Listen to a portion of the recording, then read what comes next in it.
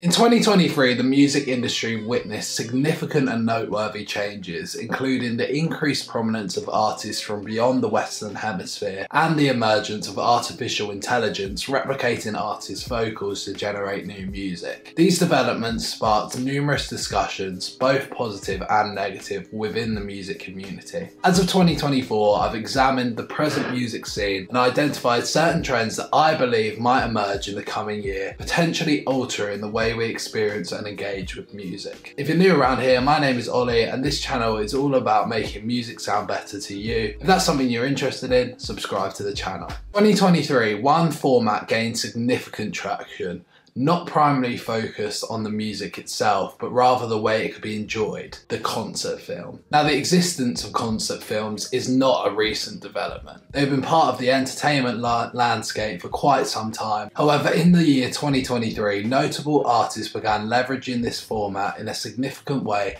to offer a novel and engaging experience prompting their fan base to attend screenings in cinemas. Notably, of course, it was the reigning queen of music herself, Taylor Swift, who broke records last year when the Eras Tour movie became the highest grossing concert film ever, bringing in a staggering $128 million. This was followed by Beyonce, whose Renaissance tour landed in cinemas towards the end of last year. So why has the concert tour format become popular again, especially after years of being somewhat overlooked? I believe there may be two reasons. Firstly, attending large stadium tours can be quite expensive. While one might assume that in a bigger stadium, artists could lower ticket prices to accommodate more fans, the reality is that most major stadium tickets often cost two over a £100 or even more. As a result, a significant portion of fans may find the live experience financially challenging. However, through concert films, they can enjoy the next best thing, featuring superior views of the shows even compared to VIP experiences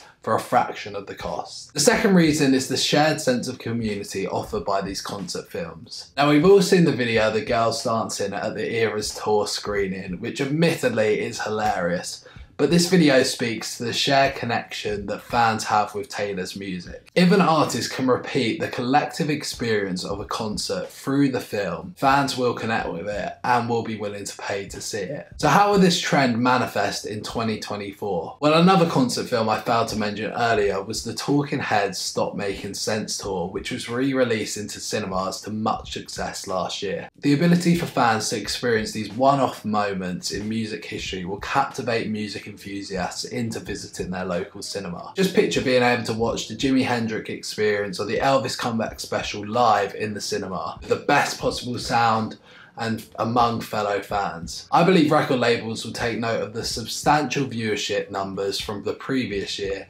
and seek to capitalise on the trend by bringing any recorded concert they have to the big screen. How will this impact future live performances? Will every big artist start recording their shows with the vision of bringing them to the big screen? Only time will tell, but I really expect this can only get bigger and more popular from here. In 2023, there was an unexpected success with Andre 3000's instrumental flute album New Blue Sun which reached number 34 of the Billboard 200. Additionally, the 12 minute 20 second long track, I Swear I Really Wanted to Make a Rap album, made its debut at number 90 on the Hot 100 charts, setting a record as the longest song to appear on the charts. While the fact that this was Andre 3000's first album in nearly two decades almost undoubtedly contributed to its popularity, there is a possibility that this marks the beginning of a new trend that could get in prominence in 2024. Instrumental music is making a comeback, and in 2024 I see it as becoming one of the most enjoyed genres.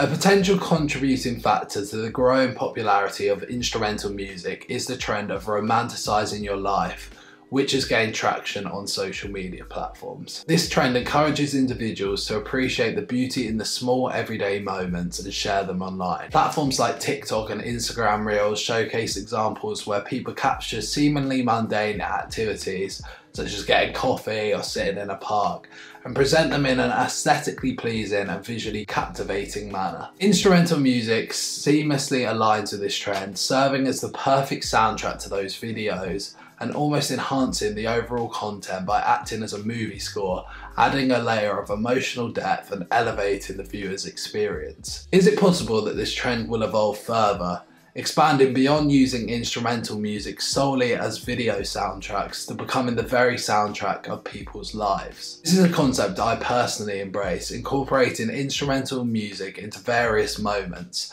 such as long train journeys or night nighttime strolls through London. Music often serves as a captivating and evocative backdrop to everyday life enhancing experiences and creating a personalised and immersive soundtrack to our individual journeys. Another potential factor influencing the growing demand for instrumental music is the heightened wariness surrounding artificial intelligence. As mentioned earlier, with instances of artificially generated songs being submitted for Grammy nominations, there seems to be a shift towards instrumental music as a means for listeners to reconnect with the human touch in their musical experiences. In a time when authenticity of musical creations is increasingly questioned due to AI's involvement, the appreciation for instrumental music may be fueled by a desire for a more genuine and human connection with the art form. This inclination is likely to play a significant role in shaping people's enjoyment of instrumental music in the years ahead. When considering the apparent surge in popularity I've observed for jazz music, I am confident that this trend will continue to unfold in 2024. I anticipate the rise of artists such as Ezra Collective and the Avalanches,